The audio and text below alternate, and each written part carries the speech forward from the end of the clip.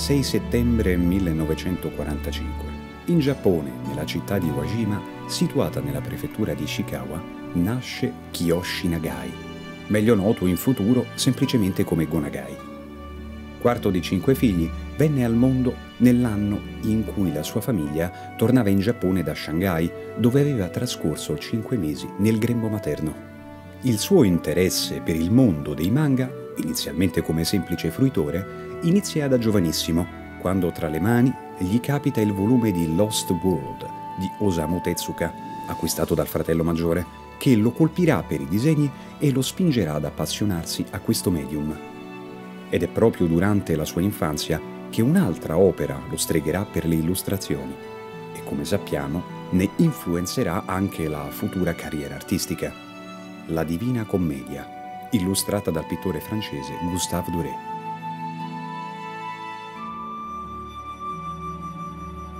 Nell'aprile del 1952 il piccolo Nagai inizia a frequentare la scuola elementare di Washima, ma nell'agosto dello stesso anno, per via dei motivi lavorativi del padre, si trasferisce a Tokyo, dove continua la sua vita studentesca presso lo Sakudai Elementary School, situata nel quartiere di Toshima. Nel 1958, dopo le elementari, inizia a frequentare le medie, presso la scuola Ward Nishisugamo, sempre situata a Toshima, Purtroppo, nel febbraio di quello stesso anno, il padre Yoshio Nagai muore a causa di malattia. Successivamente frequenta le superiori presso Itabashi High School di Tokyo e una volta diplomatosi accade un fatto nella sua vita che ne determinerà il suo futuro. In questa fase in cui doveva scegliere quale università frequentare, scelta su cui in Giappone viene fatta molta pressione sugli studenti, iniziò a fallire deliberatamente gli esami di ammissione diventando un cosiddetto Ronin, termine che in passato indicava un samurai senza padrone, ma che nel gergo moderno viene utilizzato per indicare gli studenti che non riescono a superare gli esami universitari. Ad ogni modo, mentre frequenta la Waseda Preparatory School, con l'intento di poter accedere successivamente alla Waseda University, un'università privata situata a Shinjuku, che vanta di aver avuto numerosi alunni di rilievo, viene colpito per tre interminabili settimane da una forte dissenteria. Questo evento fu vissuto in maniera così tanto preoccupante da parte di Nagai che temendo di poter addirittura morire, prese coscienza della propria condizione umana e si mise in testa di non voler lasciare questo mondo in maniera anonima. Così iniziò a progettare un piccolo manga per conto suo durante quelli che pensava fossero i suoi ultimi mesi.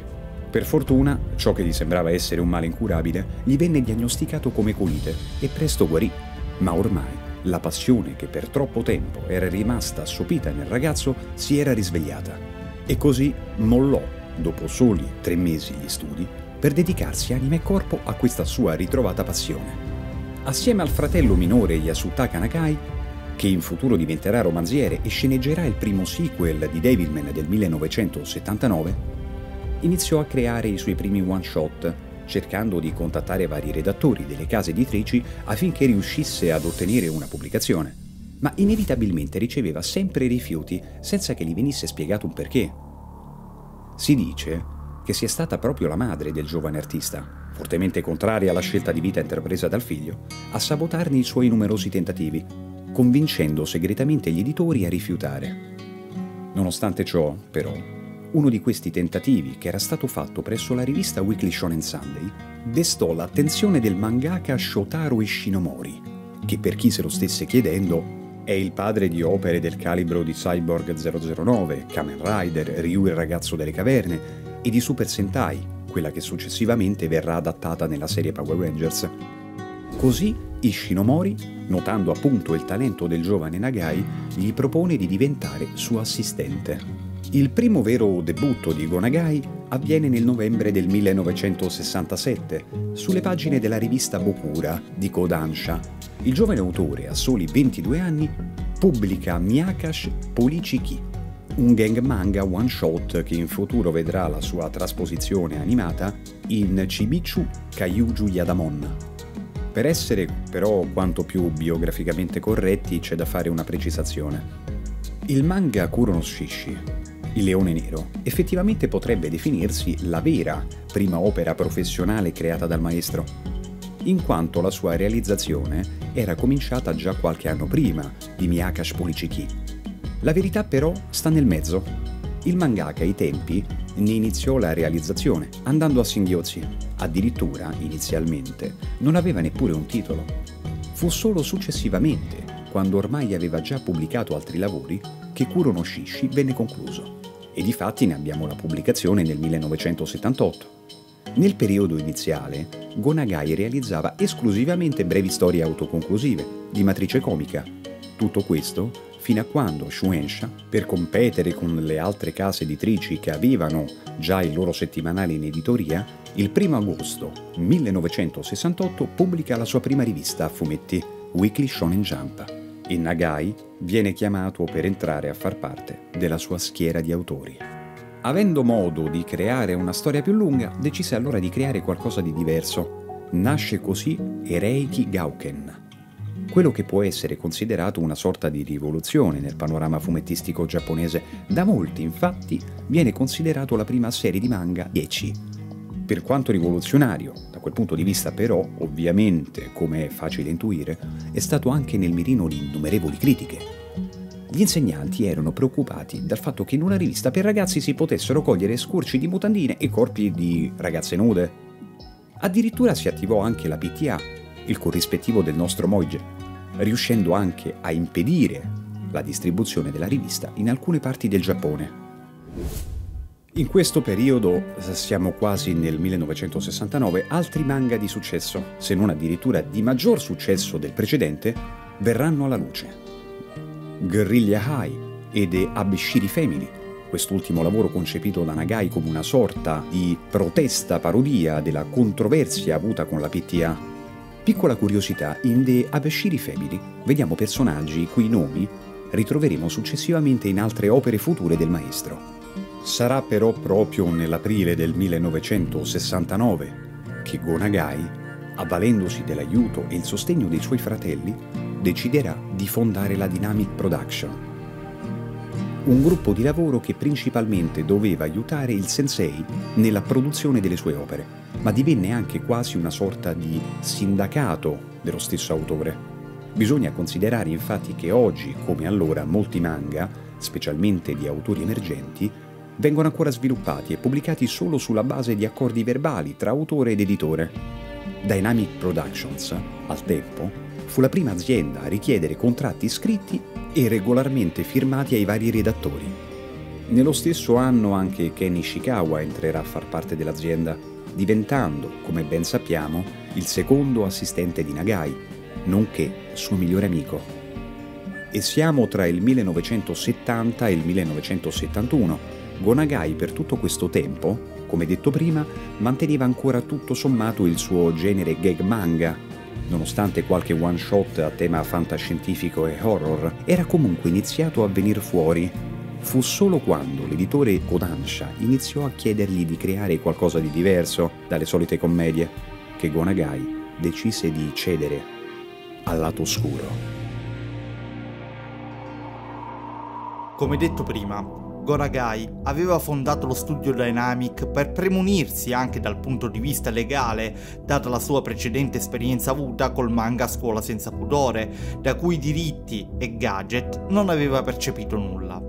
Ora però l'editore Kodansha era giunto da lui per proporgli di ideare qualcosa di diverso, di cimentarsi in qualcosa che andasse oltre lo stile dei prodotti che aveva sfornato fino allora. Fu così che il sensei dà alla luce la storia oscura del demone Dante, Mao Dante, di cui vi rimando all'analisi fatta su questo canale se volete conoscerne i dettagli della storia.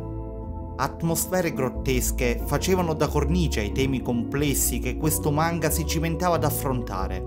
Un'opera che oltre ad essere per ovvie ragioni definita il prototipo del successivo e più famoso Devilman, anticipa anche alcuni elementi che avremo poi in seguito visto nelle sue serie mecha, come il personaggio incastonato sulla fronte del demone, che parallelamente si associa a Tetsuya, che si aggancia col suo veicolo divenendo l'abitacolo del grande Mazinga. La storia editoriale di Maudante però finisce per interrompersi quando la rivista Bokura Magazine chiude i battenti. Fu la Toei a sollecitare il maestro a creare una storia che mantenesse quelle caratteristiche, perché avevano intenzione di sviluppare un anime a tema supereroistico che potesse competere con le produzioni americane. Nagai inizia così a lavorare su una delle pietre miliari dei manga, Devilman.